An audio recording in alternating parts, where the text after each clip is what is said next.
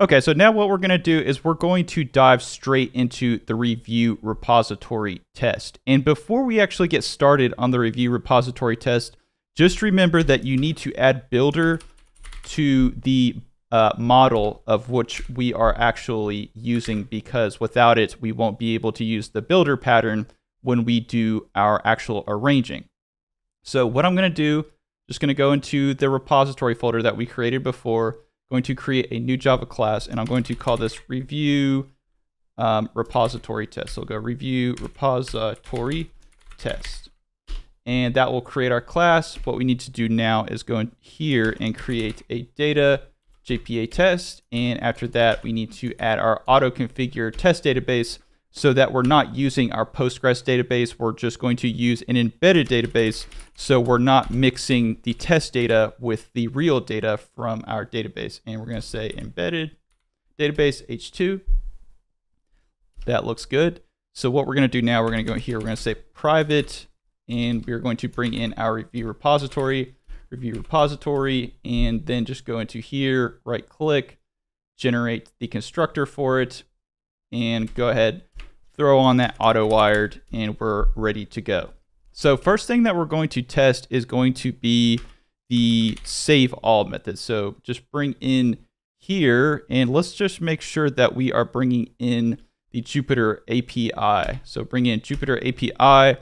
Then what we're going to do, we're going to say public void, of course, because we're not returning anything. We'll say review repository test. So say review repository or uh, review repository. Then we'll go here and we'll say save all because this method, this test is going to test the save all method and it's going to test it returns saved review. Okay, so we've got that figured out. Now what we need to do is create an actual object of the review. So we'll go here, and what we're going to do is we're going to have review dot builder. So say review, let me see here, review dot builder. Then we'll go into here, go title. So we'll add a title to it, and this title will be, we'll just call it title. It doesn't really matter uh, what kind of data. You just need data in there so that it so that you can test it. Then we'll go content and we'll just put content. Then we'll go here, we'll say stars and we'll say, we'll give it five stars. And make sure you put your build on the end of it to actually build the object. Next thing that we need to do is we need to uh, save a Pokemon. So we'll say here, go here, we'll say saved Pokemon. Or no, this isn't a Pokemon, this is actually a review. So saved review and we're going into our review repository and we're going to go ahead save it. So just go ahead here, we'll save it and that looks good. Now what we need to do is we need to bring in assertions and it's good to be particular about which assertions that you're bringing in. You want to bring in the core API. So AssertJ core API. Otherwise you'll get all types of crazy errors and we'll go assert that and we will have a, we'll put in our saved Pokemon. Then we will assert that, or saved review. So say saved review. Then we will say that it is not null. We want to first test if it is not null. And go down here, do the exact same thing. Exact same thing. We'll say assert and saved Pokemon, or saved review. Don't know why I keep saying Pokemon, so we'll say assert review. And we're going to get the ID. So we'll say get the ID, and we will make sure that the ID is greater than zero. That's a good way to test it. So if the ID is greater than zero, because if it's not zero, then if it's, or if it's less than zero, it means something wrong. And if it's zero, that means definitely means something's wrong. So that looks like a good place to test that. So let's go ahead and here, we're gonna go ahead hit run. Make sure we get our green check mark. Okay, looking good. So let's go ahead. That's knocked out. Let's go ahead and do our get all. So we'll go here and we're to say test. So test and public. We're going to return void. It's in our review repository. So I'll say review repository. So review repository. And this is going to be get all. So we're going to be getting all of our Pokemon. And it returns more than one review. So returns more than one review. Okay, and looking good. Now what we need to do is we're going to have to add two reviews. So what I'm going to do is I'm just going to go up here, copy, do another one, make sure we add a two at the end of it so that it's not duplicating it. So review two, then we're going to save them. So we're going to go review repository dot save, and this is going to save our first review. And we're going to go down here. We're going to do another one. So we're going to go review repository dot save review two.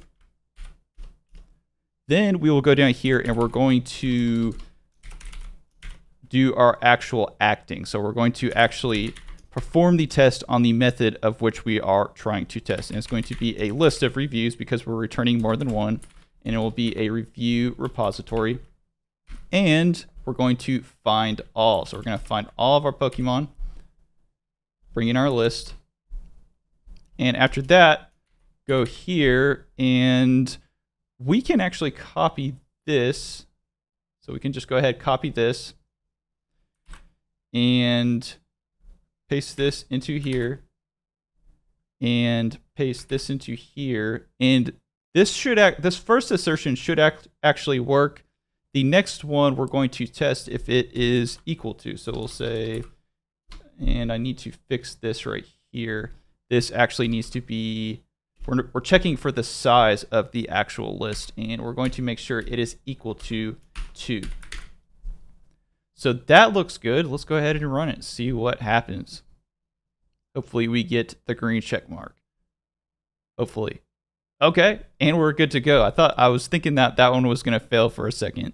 Okay, and remember, if it doesn't work, just remember that you can go in and uh, click the red button and debug it. So if something goes wrong, just remember that you can always debug it. It's not a big deal. So go in here, and we're going to do the exact same thing. And this one is so similar to the save all, we can just go ahead up, up here and copy it down. A lot of these tests, testing is a bit redundant, but that makes it good so that you can actually just copy and paste a lot of this. So we're going to go in here and we're going to say find by ID. So we're going to find by ID for this first one. And we have our very first review builder right here. We're saving our review, which is good.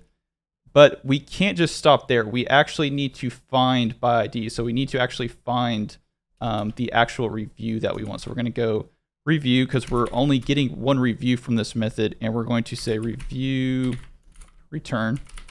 So say review return is equal to review repository dot find by ID.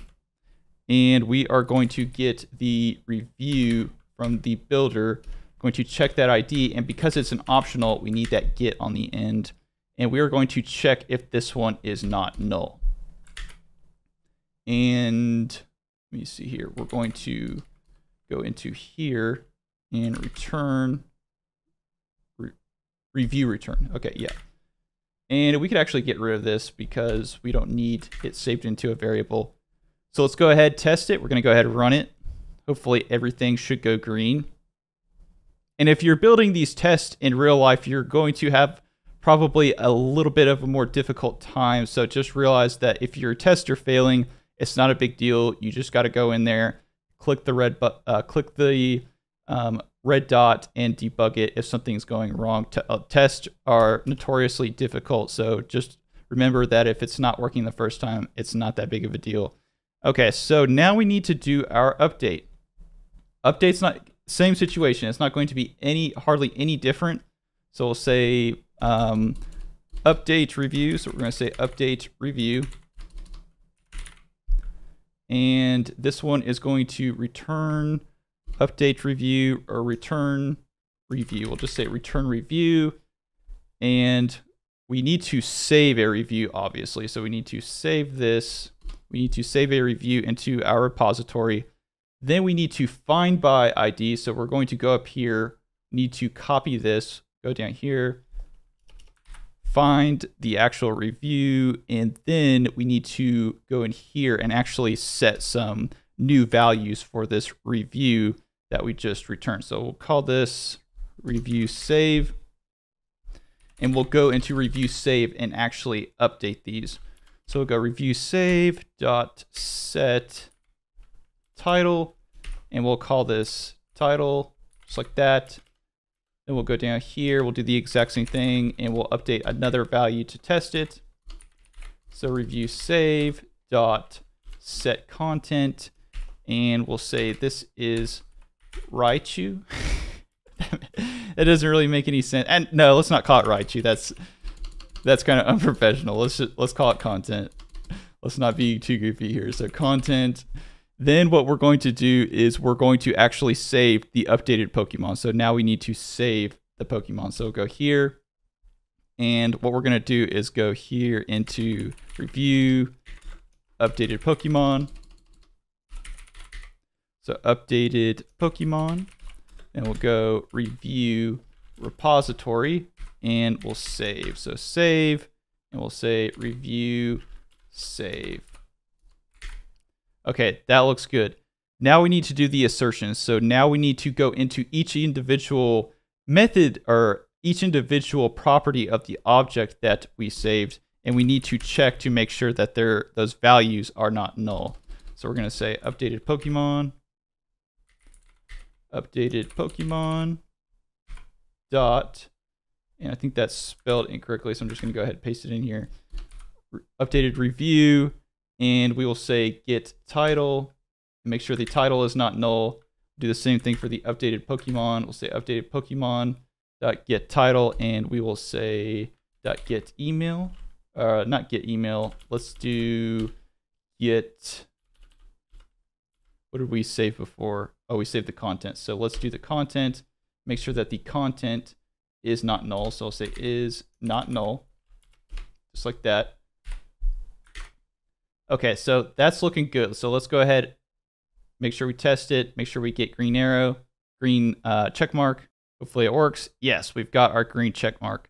So now what we're going to do is go down and finally do our very last one, which is going to be our delete. So this last test is going to be very similar to the Pokemon repository test. So let's go inside of Pokemon repository. Let's go down here and what we're going to do is we're going to copy the uh, delete out of the Pokemon repository, and then we're going to put it into the review repository and just change out the names because they're going to be so similar. So say review repository, review delete, and then return review is empty. And we need a review in here. Actually, we can just go up here and uh, copy this, paste it down into here. Then we'll have review repository. So let's say review repository. Go ahead, delete that. We'll save it. And we're going to pass in our review. And here, we'll just take out the review and pass in here. So we'll delete by ID. Then what we'll do is change this. Change this. Oops. So go here, then we're going to go review return. So go review return, say review repository, and then here go review. And then we are going to assert that our review is empty. So here, review return. Let me just double check this to make sure that there's no Pokemon keywords left. That looks good. So let's go ahead and run the test to make sure that it is indeed working. So we'll go here, Go review, re review repository test, make sure we got the green check mark, and we are good to go. We can finally move on to testing out our services and we can learn more about mocking. Anyways, hope that you guys enjoyed this. If you did, like, make sure to like, make sure to subscribe, and as always, thank you for watching.